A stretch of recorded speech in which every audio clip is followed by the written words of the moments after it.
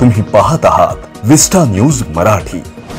नाही पूर्णपणे ज्या पद्धतीनं काळजी या ठिकाणी घ्यायला हवी होती कारण गेल्या वीस दिवसापूर्वी मी सांगितलं की मुंबईत ज्या प्रकारे पावसाने उद्ध्वस्त जनजीवन झालंय कोकणही त्या ठिकाणी डोंगर दऱ्यात वसलेलं आहे समुद्र किनारे नद्या मोठ्या मोठ्या आहेत. त्यामुळं काळजी घ्या. कुठल्याही प्रकारचं नियोजन काळजी घेतली नाही आणि अख्खं कोकण पाण्याखाली पूर्ण बाजारपेठा पाण्याखाली आहेत. आणि दुर्दैव म्हणजे त्यांना निवाऱ्याची व्यवस्था नाहीये.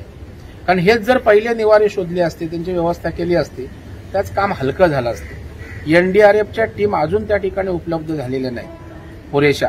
आणि त्याच्यामुळे हे जे पूर्वनियोजन करण्याची आवश्यकता होती ते झालं नाही. आणि त्याच्यामुळेच आज दुरावस्था आहे. आणि मला वाटतं लोकांचे आणखी किती बळी आपण घेणार आहात हा माझा सरकारला प्रश्न आहे.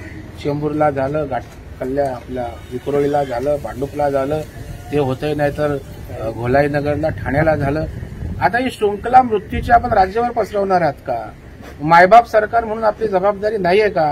तर मला वाटतं आता तरी गांभीर्यानं सरकारने या गोष्टी पाहण्याची आवश्यकता तुम्ही पाहत आहात विस्टा न्यूज मराठी.